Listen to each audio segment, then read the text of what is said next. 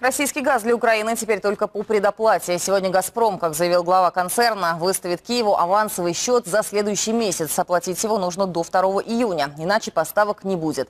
Долг Украины уже достиг астрономической суммы, были переговоры, и отсрочки, но денег нет до сих пор. Тему продолжит Максим Бобров. 3,5 миллиарда долларов долг Украины за российский газ. Если считать в кубометрах, это 9 миллиардов 420 миллионов кубов. Столько «Газпром» поставляет, например, в Польшу за целый год.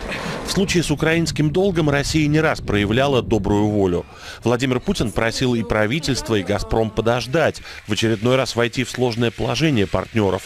Но неспособность, а главное нежелание Киева платить по счетам становилось все очевиднее. И все же президент в ходе прямой линии дал украинской стороне еще одну отсрочку. Мы готовы еще потерпеть.